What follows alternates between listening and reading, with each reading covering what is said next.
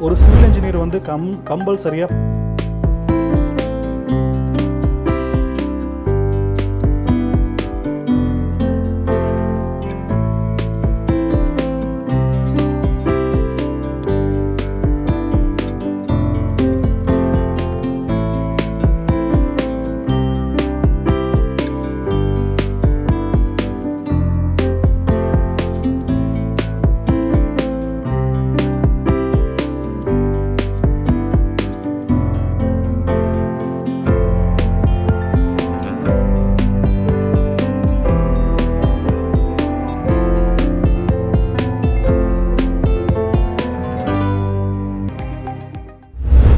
Times Samayam Tamil நேயர்களுக்கு வணக்கம்.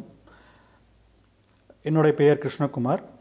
நான் வந்து professor and head of civil engineer professor and ஹெட்டாக civil engineering டிபார்ட்மெண்ட்டில் ரத்தினம் டெக்னிக்கல் கேம்பஸ் அப்படிங்கிற இன்ஸ்டியூஷனில் ஒர்க் பண்ணிகிட்ருக்கேன் இன்றைக்கி நம்ம வந்து ஒரு சிவில் இன்ஜினியரிங் ஸ்டூடெண்ட் வந்து படிக்கும்போது என்னென்ன கோர்சஸ் படிக்கலாம் என்னென்ன ஆன்லைன் கோர்சஸ் படிக்கலாம் எப்படி ஈஸியாக படிக்கலாம் எப்படி அவங்க வந்து ஒரு ப்ராஜெக்ட்டு ஒரு இன்டர்ன்ஷிப் பண்ணலாம் அப்படிங்கிறத பற்றி நம்ம இந்த பதிவில் நம்ம பார்க்க போகிறோம் ஒரு சிவில் இன்ஜினியர் வந்து கம் கம்பல்சரியாக படிச்சிருக்க வேண்டிய கோ ஒரு ஆடான் கோர்ஸ் என்னென்னு பார்த்தீங்கன்னா ஆட்டோ கேட் இப்போ நம்ம வந்து என்னென்ன கோ இப்போ டிசைனிங்கில் என்னென்ன ஆடான் கோ சாஃப்ட்வேர் இருக்குது அதே மாதிரி அனாலிசிஸில் என்னென்ன சாஃப்ட்வேர் இருக்குது அதோட இம்பார்ட்டன்ஸ் என்ன அதே மாதிரி எஸ்டிமேஷனில் என்ன சாஃப்ட்வேர்ஸ் இருக்குது அப்படிங்கிறத நம்ம பார்க்கலாம். இப்போ ஃபஸ்ட்டு நம்ம வந்து நம்ம பேசிக்காக என்ன சொன்னோம்?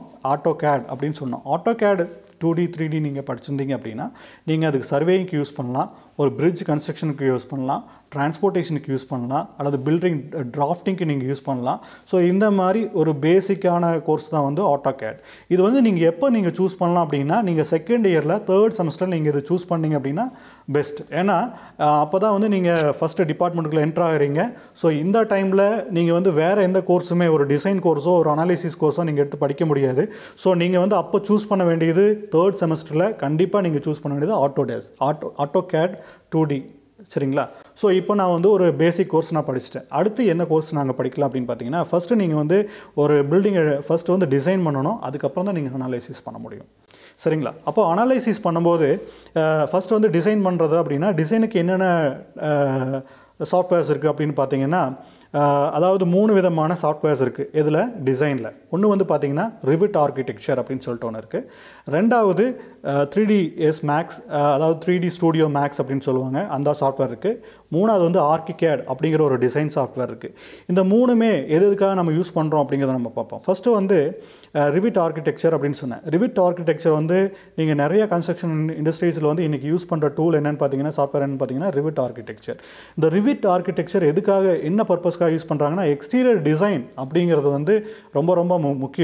அந்த எக்ஸ்டீரியர் டிசைனுக்காகவே இது வந்து நிறைய பேர் வந்து இந்த ரிவிட் ஆர்கிடெக்சர் யூஸ் பண்ணுறாங்க ஃபார் எக்ஸாம்பிள் நம்ம சோபா டெவலப்பர் வந்து one of the pioneer in the construction field so அவங்க வந்து என்ன பண்ணுறாங்கன்னா ரிவிட் ஆர்கிடெக்சர் நிறைய யூஸ் பண்ணுறாங்க ஸோ அதுக்கு அடுத்து நீங்கள் பார்த்தீங்க அப்படின்னா இன்டீரியர் டிசைனுக்குன்னு ஒரு சாஃப்ட்வேர் இருக்குது அதுதான் நம்ம சொன்னது three DS two three DS max அப்படின்னு ஒரு ஒரு சாஃப்ட்வேர் ஸோ இன்டீரியர் டிசைன் நீங்கள் பண்ணுறீங்க அப்படின்னா கண்டிப்பாக நீங்கள் த்ரீ டிஎஸ் மேக்ஸ் யூஸ் பண்ணலாம். அப் இன்னொன்று சொன்னேன் ஆர்கி கேட் அப்படின்னு ஒரு சாஃப்ட்வேர் சொன்னேன். அந்த ஆர்கி கேட் அப்படிங்கிறது என்னென்னு பார்த்தீங்கன்னா இது வந்து சிமிலர் டு ரிவிட் ஆர்கிடெக்சர் மோரார்லஸ் வந்து ரெண்டுமே ஒரே மாதிரி தான் இருக்கும். என்னோடய சாய்ஸ் வந்து என்னென்னு பார்த்தீங்கன்னா நீங்கள் வந்து ரிவிட் ஆர்கிடெக்சர் எடுத்து படிச்சீங்க அப்படின்னா கண்டிப்பாக யூஸ்ஃபுல்லாக இருக்கும். இது வந்து நீங்கள் ஃபோர்த் செமஸ்டர் நீங்கள் ஜாப் பண்ணலாம். நம்ம என்ன பார்க்க போகிறோம் அப்படின்னா நீங்கள் படிக்கும்போது தெரிஞ்சிக்க வேண்டியது இன்னொன்று வந்து ப்ராஜெக்ட் இப்போ ப்ராஜெக்ட் பண்ணுறீங்க அப்படி கண்டிப்பாக ஃபைனல் இயரில் ஒரு ப்ராஜெக்ட் பண்ணணும். நீங்கள் தேர்ட் இயரில் இருக்கும்போதே வந்து நீங்கள் கண்டிப்பாக வந்து uh, என்ன ஒரு ப்ரொப்போசல் நீங்கள் என்ன ப்ராஜெக்ட் பண்ண போகிறீங்க அப்படிங்கிற ஒரு ப்ரொப்போசல் வச்சுட்டு ஸோ அந்த ப்ரொப்போசல் வந்து இப்போ நம்ம Tamil Nadu science SCST TN SCST அப்படின்னு சொல்லிட்டு ஒரு தமிழ்நாடு கவர்மெண்ட்டோட ஒரு போர்ட்டல் இருக்குது நீங்கள் அதில் போயிட்டு உங்களோட ப்ரொப்போசல் அப்ளை ப்ரொப்போசலை சப்மிட் பண்ணலாம். உங்களுக்கு ஒரு ஸ்டைஃபண்டோட உங்கள் ப்ரொப்போசல் செலெக்ஷன் செலக்ட் ஆச்சுன்னா உங்களுக்கு ஸ்டைஃபண்டோட உங்களுக்கு ஒரு சர்டிஃபிகேட்டும் கிடைக்கும். இது உங்களுக்கு ஒரு- ஒரு கிரெடிட்டும் கூட. ஸோ இந்த மாதிரி நீங்கள் ஒரு பிளான் பண்ணி ஒரு ஸ்ட்ரக்சராக நீங்கள் படிச்சீங்க அப்படின்னா நீங்கள் சிவில் இன்ஜினியரிங்கில் ஒரு ஒரு ஒரு ஒரு நல்ல பொசிஷனுக்கு வரலாம். ஸோ இப்போ நம்ம என்ன பார்த்தோம்? ஒரு ஆடான் கோர்சஸ்னால் என்னென்னு நம்ம பார்த்தோம். அதில் என்னென்ன என்னென்ன சாஃப்ட்வேர்ஸ் இருக்குன்னு நம்ம பார்த்தோம்.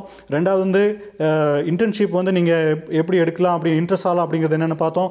ஸ்வயம் ஆன்லைன் கோர்ஸ் என்னென்னு நம்ம பார்த்தோம். கடைசியாக வந்து ப்ராஜெக்ட் எப்படி நீங்கள் பண்ணலாம் அப்படின்னு நம்ம பார்த்தோம். ஸோ இந்த தகவல் வந்து கண்டிப்பாக உங்களுக்கு வந்து நல்ல ஒரு யூஸ்ஃபுல்லான தகவலாக இருந்திருக்கும்னு நான் நினைக்கிறேன். நன்றி.